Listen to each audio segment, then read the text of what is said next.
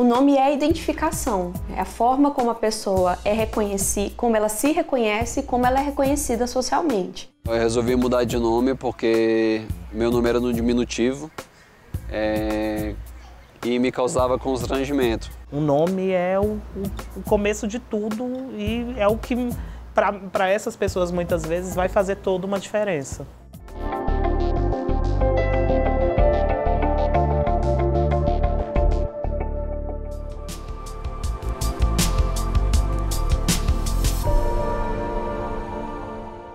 Eu perdi a bolsa com todos os documentos, né? CPF, RG, tudo.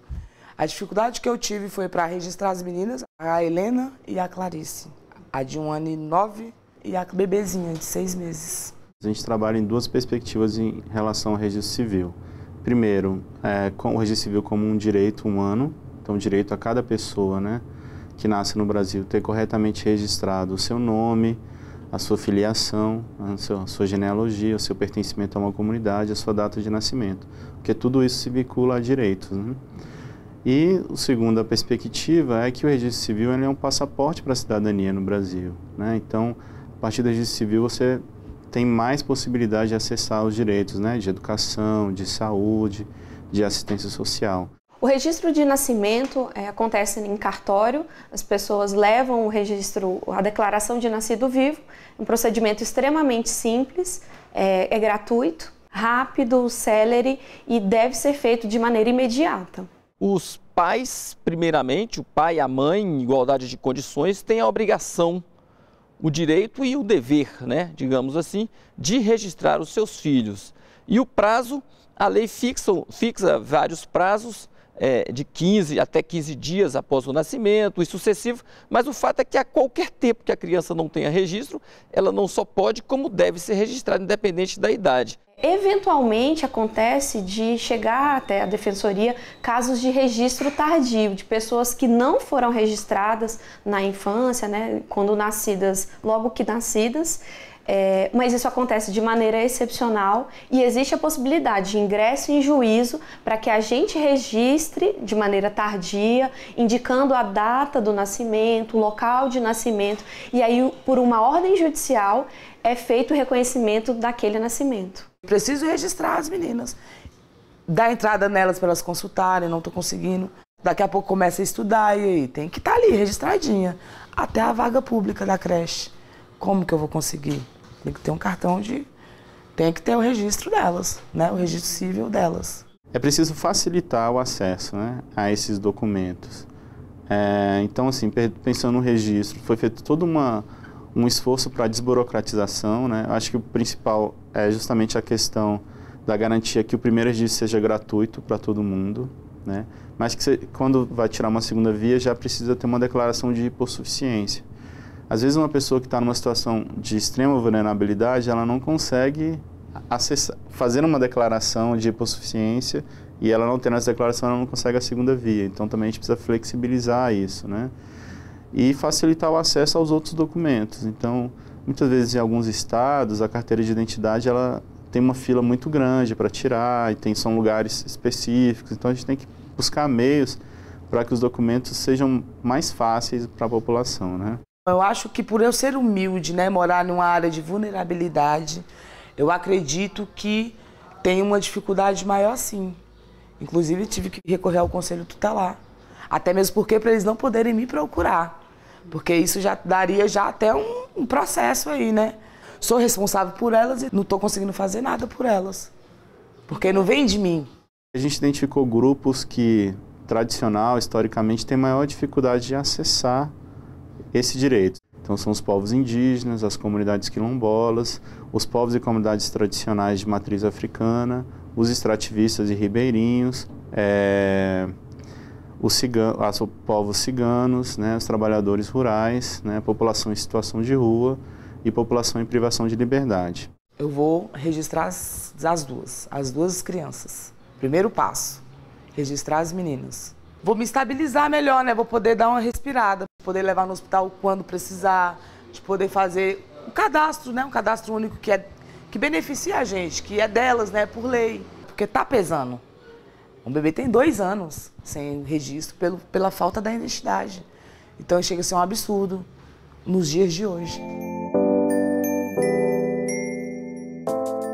Em relação à escolha dos nomes né, das crianças, eu acho que é muito importante os pais, as mães, pensarem que esses nomes eles serão marcadores muito importantes para essas pessoas que estão chegando no mundo. Vão representar essas pessoas para elas mesmas e também para as outras pessoas.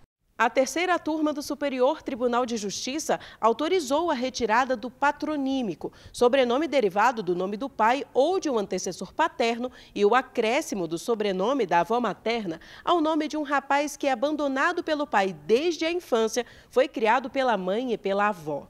Citando vários precedentes, o ministro relator Paulo de Tarso Sanseverino ressaltou que o STJ tem sido mais flexível em relação à imutabilidade do nome civil, em razão do próprio papel que o nome desempenha na formação e consolidação da personalidade. Para o relator, considerando que o nome é identificador e individualizador da pessoa na sociedade e no âmbito familiar, a pretensão do recorrente estava justificada nos autos.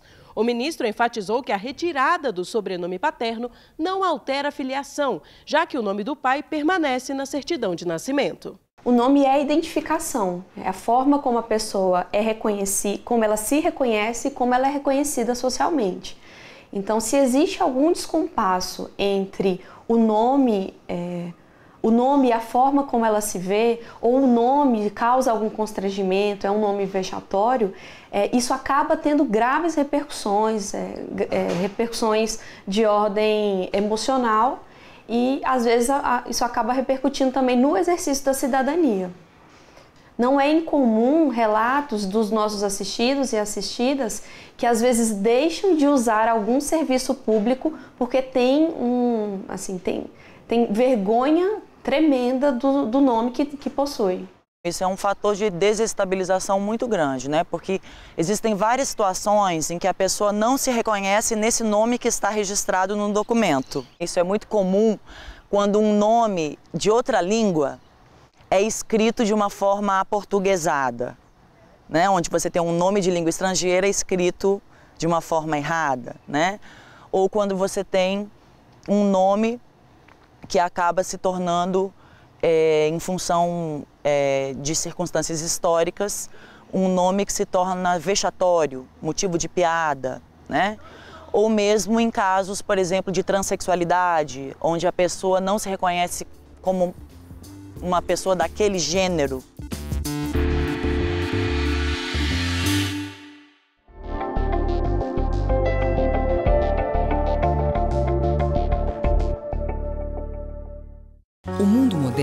Gira em torno da velocidade da informação que precisa ser segura e confiável.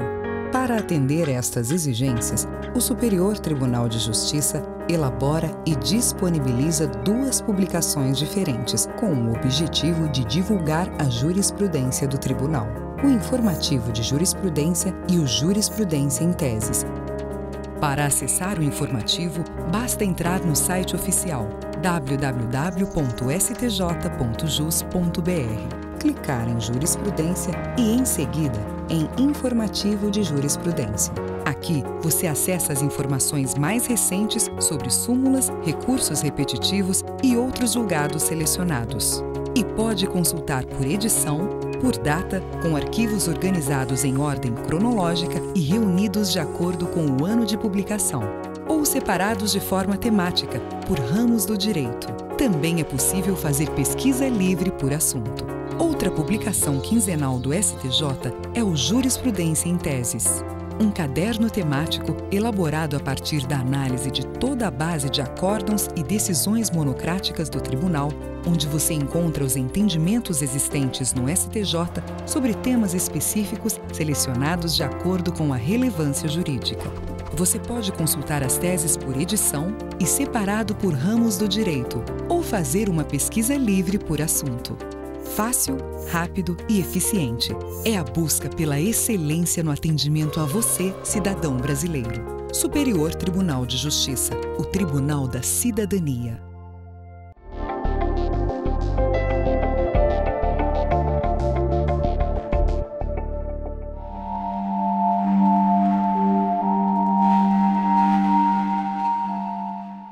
Resolvi mudar de nome porque meu nome era no diminutivo é, e me causava constrangimento meu nome. Quando, quando as pessoas viam que realmente meu nome era registrado daquela forma, é, geralmente sempre tinha alguma brincadeira, alguma coisa do tipo. E durante toda a minha infância eu sempre tive raiva do meu nome, nunca gostei do meu nome. Os meus pais, quando da época que eu nasci, me registraram com uma letra diferente no meu nome. Meu nome hoje é Alan e na época os meus pais me registraram como Alon. Meu pai me registrou como Alon. Talvez por, por inexperiência ou por não ter notado, até mesmo pela alegria do nascimento de um filho, isso acabou voltando para casa e durante um tempo eu tive que conviver com esse nome no papel que divergia do nome pelo qual eu era chamado na rua pelos meus amigos, em casa pela minha família, enfim.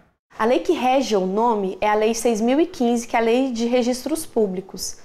É, ela trata de, toda, de todo o regramento acerca do nome. A regra prevista na, nessa lei é a imutabilidade. Isso porque o nosso sistema privilegia a segurança jurídica. Então, depois de é, aposto o nome na certidão de nascimento, a regra é que ele não mais seja alterado exceto nas situações em que a própria lei e que a jurisprudência foi construindo ao longo do tempo, numa interpretação é, ampliativa, é, exceto nessas, né, nessas situações existe a possibilidade de mudança. Em alguns casos, e quando o nome causa humilhação ou constrangimento, é possível alterar o registro civil recorrendo à justiça. São eles adoção, apelidos notórios, exposição ao ridículo, vítimas e testemunhas, homonímia e erro de grafia.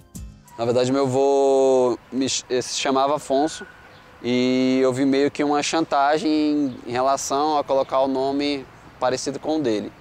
E ao que os meus pais dizem, no início eles tinham a intenção de colocar o meu nome é, parecido com o do meu avô, mas seria Afonsim que para eles tinham diferença. Mas na época é, o cartório registrou errado. No momento que saiu o registro, que eles identificaram o erro, eles questionaram é, no cartório, mas as pessoas falaram no cartório que uma vez que o nome tido já para a certidão, a certidão tinha sido emitida, ela não podia ser alterada, que eles teriam que procurar meios legais de fazer essa alteração. Eu cheguei na fase escolar e para fins de comprovação de documento, coisas do tipo, começaram a me chamar de Alon e eu não me identificava com o nome pelo qual me chamavam, simplesmente porque até então não me chamavam assim. E depois é, me causava esse constrangimento porque ainda rola uma cacofonia, ainda acontece uma cacofonia com com meu segundo nome, com meu sobrenome. E aí, juntando tudo, eu ficava assim, gente, não, vamos resolver esse assunto porque não tá mais legal para mim isso daqui. Completada a maioridade, existe prazo decadencial de um ano para a pessoa, de maneira injustificada, alterar o nome. Então, aquele exemplo que você trouxe, uma pessoa que queria mudar o nome de Juliana para Juliane, no primeiro ano de maioridade ela poderia sem qualquer justificativa. Ultrapassado esse prazo decadencial, a pessoa precisa de justificativa e precisa de decisão judicial. Quando eu alcancei a maioridade, que eu mesmo podia né, buscar é, legalmente fazer isso, eu fui procurar saber como eu podia fazer. E eu não tinha condição antes de entrar com um advogado, buscar é, alguma solução. Então eu fui da Defensoria Pública é, já depois da maioridade e lá eu consegui orientação para poder conseguir encaminhar esse processo para alterar meu nome. Eu busquei essa mudança de nome é, por volta dos 16, 17 anos, mais veementemente, insistindo com os, com os meus pais que havia essa necessidade, até porque me causava um constrangimento e os meus documentos do segundo grau, que era onde as pessoas davam mais atenção para essa questão do nome, da identificação, onde você começa a se colocar mais socialmente eu busquei nessa etapa e já para a saída do segundo grau eu já tinha a minha mudança do nome pronta. Foi um processo que demorou mais ou menos dois ou três meses. A terceira turma do STJ negou o recurso em que uma mulher pedia a retificação de registro civil para alterar o prenome de Tatiane para Tatiana. Para o relator, ministro Marco Aurélio Belize, a regra no ordenamento jurídico é a imutabilidade do prenome. No entanto, a modificação é possível nas hipóteses previstas em lei e em determinados casos admitidos pela jurisprudência. O relator destacou que, na demanda em análise, não foi possível verificar circunstância que justificasse a alteração, já que não há erro de grafia e tampouco foi possível reconhecer constrangimento à autora perante a sociedade. Em outro julgado, a terceira turma autorizou a mudança. A mulher alegou que sofria humilhação com o prenome Maria Raimunda e pediu a mudança para Maria Isabela. A relatora, ministra Nancy Andrighi, acolheu as razões de que não se tratava de mero capricho, mas de necessidade psicológica profunda, levando em consideração de que ela já era conhecida no meio social como Maria Isabela, nome que escolheu para se apresentar e evitar constrangimentos a maneira como você se coloca para o mundo, o nome que você tem, pelo qual você atende, ele é, te traz uma memória, te traz situações. Então, a memória afetiva familiar que eu tenho é das pessoas me chamando de Alan, da minha mãe me chamando por esse nome. Eu consigo ouvir ainda a voz da minha mãe quando criança me chamando assim. Era apenas uma letra, mas para mim essa letra fazia toda a diferença nesse contexto, assim, nesse meu processo de vida. Para as pessoas que querem mudar de nome, eu acho que é muito válido. Levou um ano o meu processo, mas passei muitos outros anos com, com esse constrangimento. Então, assim, hoje realmente eu me sinto muito melhor. Eu acho que vale a pena. As pessoas têm esse direito, né? Caso, e elas comprovando que realmente isso, isso as afeta, é, acho que não, não, não existe nenhuma contradição em ser favorável a essa alteração.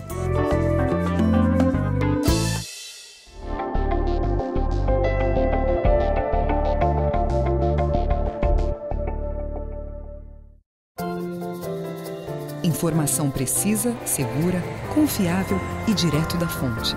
Na página da jurisprudência do Superior Tribunal de Justiça, você encontra tudo isso e muito mais. Para acessar, basta entrar no site oficial www.stj.jus.br e clicar em Jurisprudência. No link Legislação Aplicada, você encontra o entendimento do STJ sobre a aplicação de determinado dispositivo legal. Isso mesmo, aqui estão os dispositivos legais estudados e anotados com a jurisprudência mais recente do Tribunal. Já no índice remissivo dos recursos repetitivos estão todos os acórdãos dos recursos submetidos ao rito dos repetitivos que já tenham sido publicados. Organizados por ramos do direito, você também pode consultar em pesquisa livre. A página da jurisprudência ainda oferece as súmulas anotadas do STJ com trechos transcritos de julgados do tribunal. Você pode pesquisar por temas, pela ordem crescente ou decrescente dos números das súmulas ou por pesquisa livre. Fácil, rápido e eficiente. É a busca pela excelência no atendimento a você, cidadão brasileiro. Superior Tribunal de Justiça. O Tribunal da Cidadania.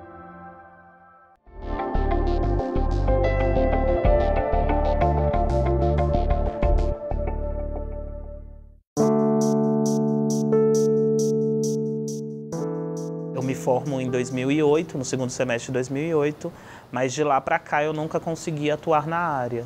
Né? Durante muito tempo eu achava que é porque essa formação não tinha sido é, capaz de, de me dar um currículo para estar nesse mercado de trabalho, mas depois de um tempo eu consegui entender que o fato de eu não estar no mercado de trabalho não tinha a ver com a minha formação ou com as minhas capacidades, e tinha a ver com a minha identidade de gênero, no caso a transexualidade né? Então, a partir do, do, momento que as pessoas entendiam essa questão da transexualidade, automaticamente eu perdi essa vaga ou não era mais convidada para os outros processos seletivos. Nós nascemos, né, com um corpo marcado por um sexo, né? E nós não nascemos com um psiquismo pronto. Nós nos constituímos seres psíquicos, né, num processo de desenvolvimento, né? E todos e todas nós constituímos uma certa representação de nós mesmas. Né? Então a gente, quando a gente é, diz a respeito de nós mesmas, né? quem nós somos, nós nos apoiamos numa imagem de nós mesmas, tá? E na maior parte das vezes, essa imagem está alinhada com o nosso sexo anatômico, digamos assim. Mas em algumas situações, a imagem que sustenta a representação que as pessoas fazem de si mesmas é de outro sexo, tá certo? E aí, no, nesse caso, as pessoas são trans, transexuais. Eu tinha um nome que já não condizia com quem eu era, com quem eu sou hoje. Né? Então, isso acabava sendo muito complicado, assim. E por mais que eu não tenha nenhum problema com o nome que me foi dado ao nascimento, mas é porque é um nome que era masculino e eu faço parte do, do contexto feminino. Nós começamos o preconceito e discriminação em casa. Né? A violência surge em casa com é, a não aceitação né, dessa identidade. E aí você passa para o espaço chamado escola, na infância e na adolescência. Vai ser um outro processo de discriminação. Aí você depois sai por motivos né, de exclusão e aí você vai uh, para os outros espaços públicos. Então você também não vai ter esse acesso ou essa permanência, seja num posto de saúde ou seja até num supermercado onde você enfrenta as dificuldades do dia a dia. Existem algumas medidas que o Estado já tomou para assegurar que essas pessoas possam é, reivindicar o uso do seu nome social. Né? O que, que é o nome social de alguém? É quando alguém já é reconhecida e já para si mesma se reconhece em outro nome, que não é o nome que está registrado na sua certidão de nascimento ou, ou na sua carteira de identidade. No caso é, do Ministério da Saúde, é, tem um, uma portaria é, chamada Carta dos Direitos dos Usuários do Sistema Único de Saúde, que prevê como direito dos usuários do SUS, o uso do nome social, né, como uma estratégia de, permitir o acesso das pessoas ao SUS. Na Universidade de Brasília, as pessoas travestis transexuais, elas têm o direito ao uso do nome social na UNB. Onde que esse nome social vai ser alterado? Na chamada, né, nas documentações da universidade. A mudança do nome no registro civil ela é uma mudança oficial do nome do sujeito em toda a sua documentação é, do ponto de vista jurídico, né? da, da do, documentação do registro civil da pessoa, né? tal como é reconhecida pelo Estado e por todas as instituições. Né? De maneira muito inovadora, o Supremo Tribunal Federal permitiu a alteração via cartórios, né, de maneira extrajudicial, para as pessoas transexuais. Antes existia uma perspectiva mais patologizante, em que era necessário ingressar em juízo, apresentar laudos que atestavam a transexualidade ou a travestilidade. Agora basta a autoidentificação, a pessoa vai ao cartório e é, faz a declaração e a regra agora é respeitar a autoidentificação. Todos os documentos são retificados. Né? A partir que você chega no cartório, eles vão dar um prazo né, mínimo de uma semana, às vezes até um pouco mais. Eles vão receber essa documentação, vão fazer essa avaliação e vão começar então a emitir a certidão de nascimento nova. É o único documento que você sai com o cartório com a certidão. Aí, claro, você vai fazer todo esse movimento que é o que a gente vai ter que fazer, porque nós temos vários documentos, né? Nós vamos ter é, CPF, RG, enfim. Eu acho que a decisão do STF é um marco né, na luta é, de, pessoas, de pessoas transexuais e das travestis. Porque durante muito tempo essas pessoas precisavam existir. E aí vem uma instância dessa, né, de STF, que é respeitada em, toda, em todo o âmbito nacional, em toda, em toda a sua ideia de, de comunidade, de sociedade, dizer que essas pessoas não precisam ser enxergadas enquanto pessoas doentes, que essas identidades elas não precisam ser patologizadas, né? A travestilidade, a transexualidade não é uma doença. Né? Ele consegue enxergar que as, essas pessoas conseguem ter autonomia para dizer quem são. A terceira turma do STJ confirmou o entendimento adotado pela quarta turma e pelo Supremo Tribunal Federal de que é possível alterar nome e sexo que constam no registro civil de transexual que não passou por cirurgia de redesignação sexual. A autora do recurso julgado alegou que a alteração do registro seria necessária para evitar os constrangimentos e humilhações que sofria, além de facilitar a inclusão social e profissional, já que possui aparência feminina feminina em razão dos hormônios que tomou. Segundo o relator ministro Paulo de Tarso Sanseverino, a discrepância entre o prenome de um determinado gênero e o sexo indicado no documento expõe a pessoa ao ridículo, uma das situações em que a lei dos registros públicos admite a mudança de nome. O Supremo Tribunal Federal reconheceu que a pessoa que se autorreconhece em um gênero porque tem a ver com a dignidade da pessoa humana de ser tratada e reconhecida por aquilo que ela se auto-reconhece na sociedade. Com essas novas, essas novas é, nomenclaturas e decisões que ocorreram do STF e do CNJ, eu consegui fazer a minha mudança de gênero. Isso tem aí por volta de 12 dias, mais ou menos.